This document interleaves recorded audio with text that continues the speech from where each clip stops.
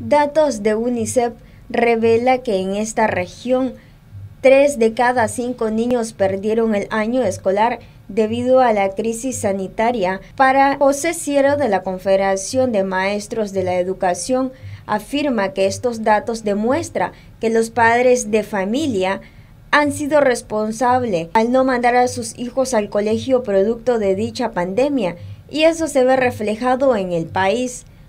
Pues yo lo veo realmente eh, real porque los padres de familia tomaron sus medidas de seguridad con sus niños. Pues. Entonces los padres de familia como que asimilaron eso y entonces, es más que en Nicaragua no hay medidas.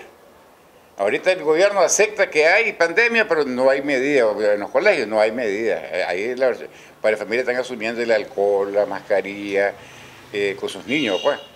Y es más que ahorita,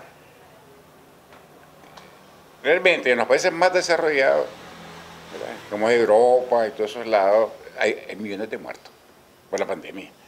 que en, en, América Latina y el Caribe eh, los casos más razonados son el Brasil, que caen en la calle, Bolivia, que caen en la calle, Ecuador, que fue bastante fuerte, son, eh, eh, y en algunos, y algunos países más, pues, como en Nicaragua también. Lo que pasa es que de eso se dieron para familias que realmente tomaron sus medidas y se mejor no haya clase, como, yo he venido diciendo, mejor un hijo aplazado que un enterrado. Ciero también destacó la implementación de las clases semipresencial que se están realizando en el país. Los padres de familia han sido responsables con sus hijos y no le doy ninguna incertidumbre a esos datos.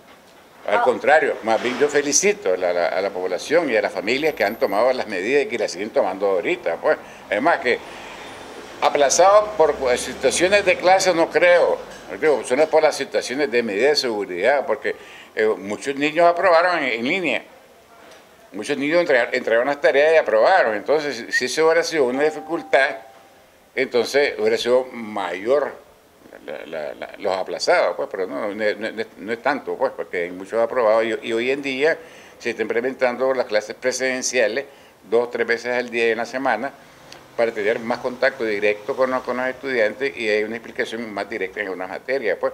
¿Por qué? Porque ya se aprobó el año pasado que a algunos les hizo falta el contacto presidencial en, eh, en el colegio, entonces ahora lo han implementado en todos los colegios, dos o tres días a la semana. Noticias 12, Darlene Telles.